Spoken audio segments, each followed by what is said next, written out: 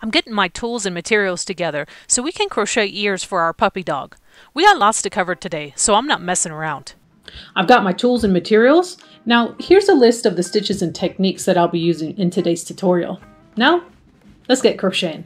The ears are crocheted by starting at the tip and then working our way towards the top. The last round will be used when we start crocheting the ear into the head. So let's start by putting 6 single crochets into a magic ring. I like to save as much yarn as possible, so I try not to leave a long tail here. This is round 1 of 19, so let's keep moving. For round 2, we need to put 2 single crochets in the next stitch. I like to crochet around the tail left by the magic ring. If you pull the tail tightly, it can help to make the tip of the ear a bit more pointy. Then put one single crochet in the next four stitches. You should have one stitch remaining, and we'll put two single crochets in there. In the next round, we'll start increasing in the first and last stitch. So put two single crochets in the next stitch.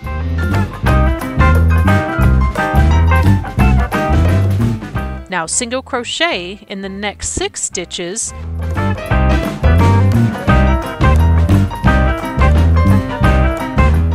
and then work two single crochets into that last stitch.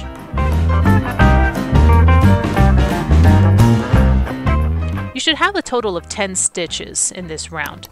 And I'm going to put a stitch marker in this last one because for this round we only need to put one single crochet in each stitch. If I don't have this stitch marker, I know I'll lose count and I'll end up with the wrong number of stitches, which can really mess you up.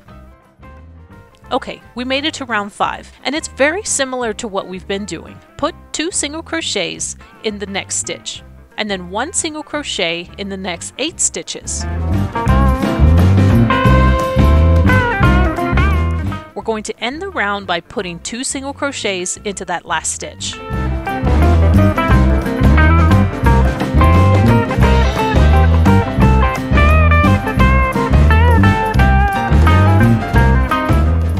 Going to continue this pattern in a similar way up until we get to round 8. You'll put two single crochets in the first and last stitches and only put one single crochet in the stitches in between. As you begin a new round, pay close attention to where the first stitch is. Sometimes that first stitch can get covered up by the increases previously made. When you're done crocheting round 8, you should have a total of 18 stitches. For round 9, put one single crochet in every stitch. It's a good idea to count your stitches after completing a round. This could save you from having to frog your work and finding out that your stitch count is off. This is round 10 and we're almost done. Work two single crochets into the next two stitches. So you're going to increase twice.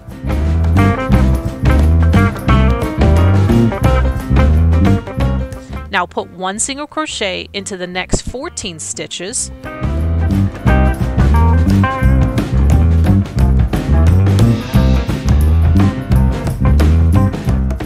and two single crochets in the last two stitches. You should end with a total of 22 stitches. For this next round, put two single crochets in the next stitch and one single crochet into the following 16 stitches. End the round by working two single crochets into that last stitch. You see how the stitch markers are coming in handy? We're going to start shaping the ear with some decreases in the next few rounds. Decrease over the next two stitches and then put one single crochet into the following nine stitches.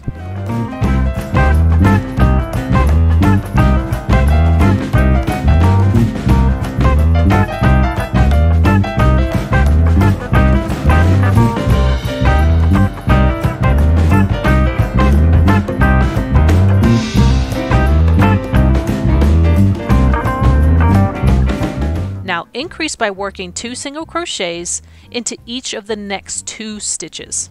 So you're going to increase twice.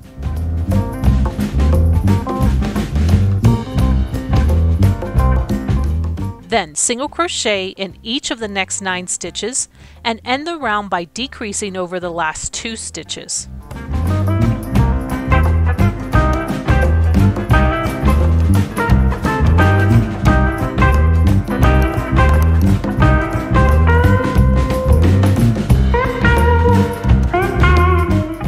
In the next five rounds, we'll begin and end the round with a decrease and work one single crochet into the stitches in between.